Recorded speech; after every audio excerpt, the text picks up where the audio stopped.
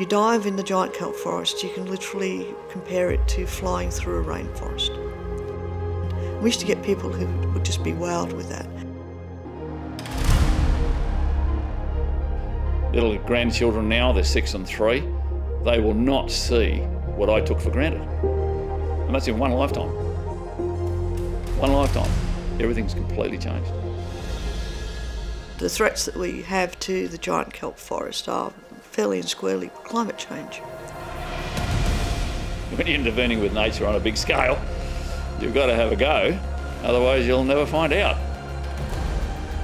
Our window of opportunity is rapidly closing. It's going to take a lot of effort.